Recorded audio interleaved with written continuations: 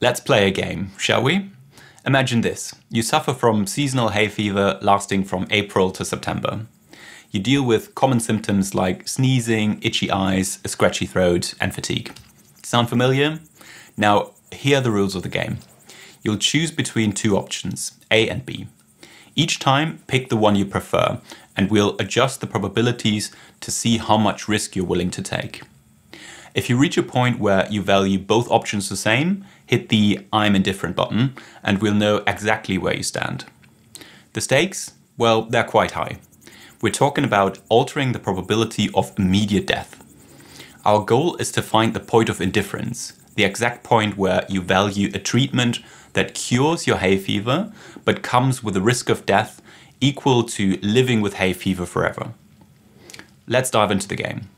First, imagine a 49% chance of dying from a miracle treatment that has a 51% chance of curing your hay fever.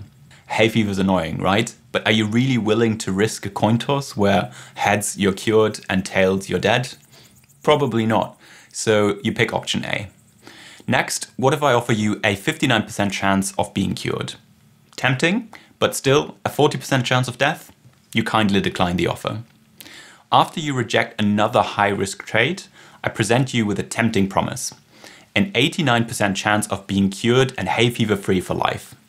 Now we're talking, right? Waking up symptom free on a bright spring morning, being able to fearlessly step outside, not having to worry about a minefield of invisible pollen bombs. But is it really worth risking an 11% chance of dying? Probably not. So, with some reluctance, you pick option A again. How about this? A 99% chance of being cured for life, only a 1% risk of death. Sounds like a no-brainer, right? So you press ahead with option B. You continue to play this game for several more rounds and eventually you reach a point where you're indifferent between option A and B. Let's say you're willing to accept a 6% risk of death for a cure. You press the yellow button and the game ends. So what did we learn from all of this? The game's over, but let's take a step back. Based on choices you made, we can derive a utility value for the hay fever health state, 0.94 to be precise. Now, why does this matter? Because in cost effectiveness analysis, we need to assign numerical values to health states to quantify the quality of life associated with that health state. For example, if a hay fever wonder drug hits the market, we'll want to assess whether the cost is justified compared to existing treatments that only reduce symptoms. That's where cost effectiveness models come in and understanding health state utilities, like the one we've just calculated today, is one of the key model inputs that we need for doing just that.